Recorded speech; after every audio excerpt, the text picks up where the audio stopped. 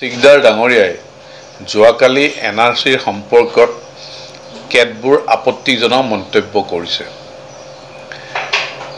তেখেতে জনা উচিত যে এন আৰ চিৰ সমগ্ৰ প্ৰক্ৰিয়াটো ছুপ্ৰিম কোৰ্টৰ নিৰ্দেশত আৰু ছুপ্ৰিম কোৰ্টৰ তত্বাৱধানত চলি আছে। তেনে ক্ষেত্ৰত তেখেতে যে কৈছে যে যিসকলে কমপ্লেইন দিছে সেই কমপ্লেইনাৰসকল সময়ত উপস্থিত নাই।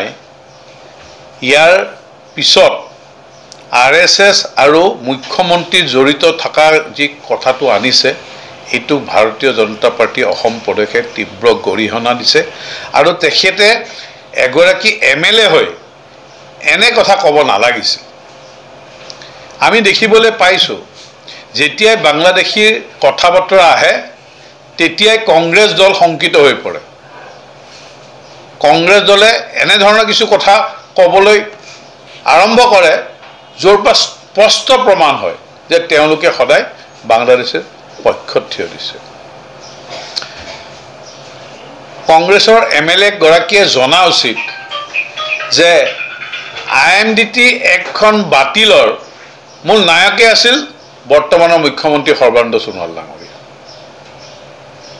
গতিকে তেখেতে যি বক্তব্য ৰাখিছে আমি তেখেতক সকীয়াই দিব বিচাৰিছোঁ যে আগন্তুক তেখেতে এনেধৰণৰ কথা বতৰা নকয় যিয়ে সমাজত উচ্ছৃংখল বা বিশৃংখল বা এন আৰ চি আগমুহূৰ্তত এনে এক পৰিৱেশ সৃষ্টি কৰিবলৈ চেষ্টা নকৰে যিয়ে অসমৰ কাৰণে শুভ নহয়। আমি ভাৰতীয় জনতা পাৰ্টীৰ অসম প্ৰদেশে এক শুদ্ধ এন আৰ চি হোৱাটো বিচাৰোঁ আৰু মাননীয় মুখ্যমন্ত্ৰী মহোদয় অ'থ লৈয়ে শপত গ্ৰহণ কৰিয়ে প্ৰথম ভৰিখন এন আৰ চিৰ অফিচত ৰাখিছিল। তেখেতৰ আন্তৰিকতাৰে এই বিষয়টো হৈ অহৰহ তেখেতৰ চেষ্টা আৰু প্ৰচেষ্টা অব্যাহত ৰাখিছে।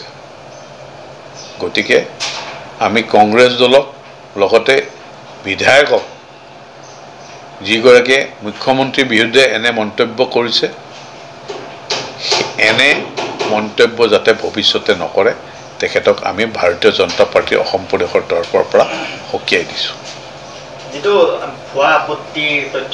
আমি আচৰিত হৈছোঁ যে এই ভুৱা আপত্তিবোৰ যে কোনে কৰি আছে তেখেতে কেনে গম পালে? তেখেতে তথ্য সহকাৰে কওক। ক'ৰবাত তেখেতসকলে জড়িত নহয়তো। এনেকুৱাও কিন্তু প্ৰশ্ন অৱতাৰণা হয়